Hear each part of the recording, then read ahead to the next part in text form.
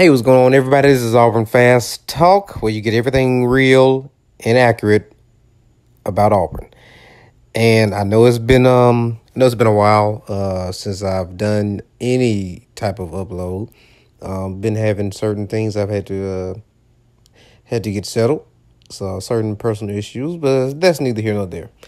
I just saw a video on the SG1 Sports page uh, stating Five reasons Auburn will make a New Year's Six bowl. And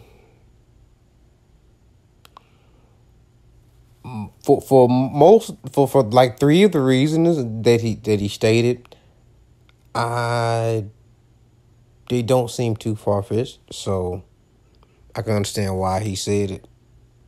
Why why that person stated that within the within the video. But for me, one of the things he stated was that freshmen freshman quarterbacks can play. Here's my response to that. He named Jameis Winston, Trevor Lawrence, Tua, which is at Alabama. Those are the ones he named. It doesn't take a genius, guys. Look at look at the the the the, the team and the staff that those few that he named are playing with or played with. You had Jameis Winston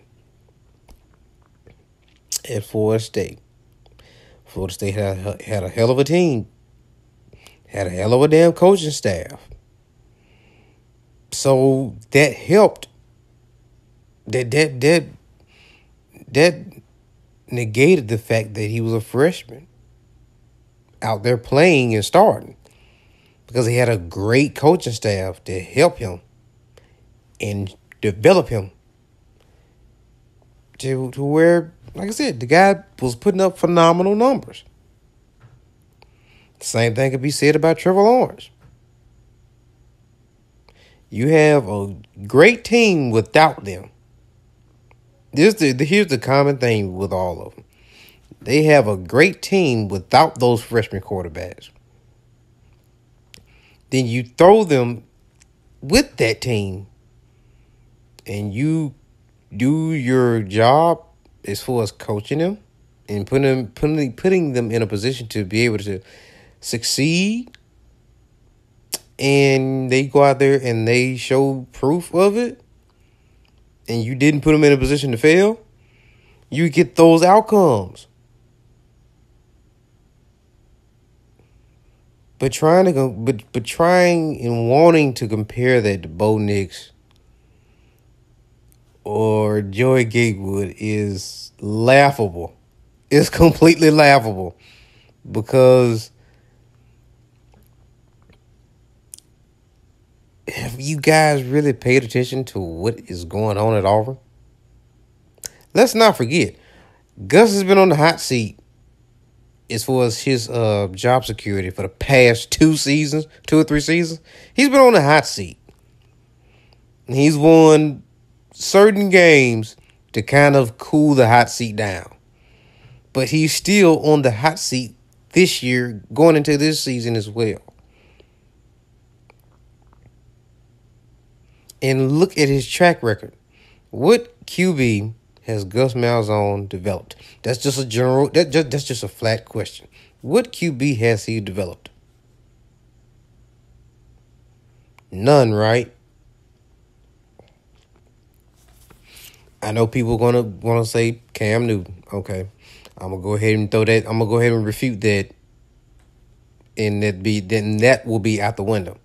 Cam Newton was a once in a lifetime type player. A player like Cam Newton, you don't have to coach. You just have to call the right play and let them do their thing. That's exactly what they did when Cam was down there. Let's not get that confused or misconstrued at all. That's exactly what happened when Cam was at Auburn. They called certain plays and they let him do him because he was such a superior athlete versus every single team that year. So yes, let him do what he do. That's not Gus Malzahn coaching the guy or developing him. You just let him do what he do. That's it. Then people want to say Nick Marshall. Okay, look at the first year Nick Marshall was under Gus. Gus did the same thing he did with Cam with Nick Marshall that first year. He let him do what he let him do what he do. Give him bits and pieces, and let him do what he do. But that next season, which was Nick Marshall's last season, what happened? Gus tried to coach him. He tried to develop him. And what happened? Mediocre.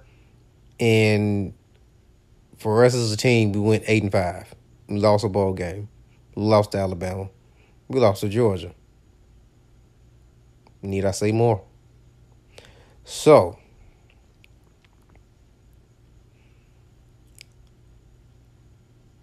with that being the case, we have an offensive line that still is in question. That is tremendously in question. So we have to put that in context. We have offensive line that is in question of whether they developed and got better from last season or the season before, or have they still stuck right where they were and or have they completely is going to stink up the place. They're in question. The wide receiving corps that we have, I I think we're okay in that category. I think we're okay. The running backs, excuse me, the running back situation, that's in question. The QB situation is definitely in question. Defense is just in question of whether or not more so the, the, the secondary and the linebacking corps will be able to step up and make plays. But having all of those things in question, how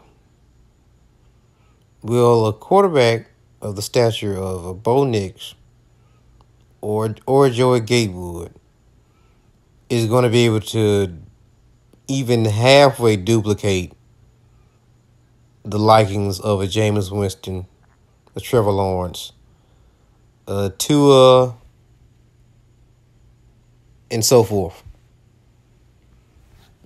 I I know the answer, but I would love to hear you guys' theories on this because I've already been on record stating what's going to happen next year. I've already stated it. It's on record. It's, it's on one of the videos I posted on my on my channel.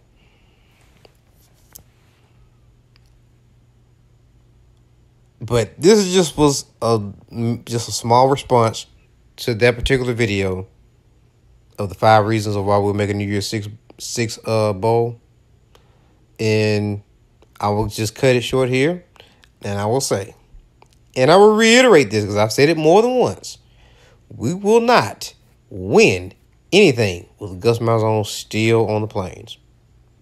That has been my time. I will try to get more more videos out, seeing as though I have a, situations back in order. So hope you guys like, share, subscribe, and put your comments down below on what you think about this, what you think about that particular video, and my response to it. And talk to you guys soon. This is Auburn Fast Talk where you get everything real about Auburn. War Eagle.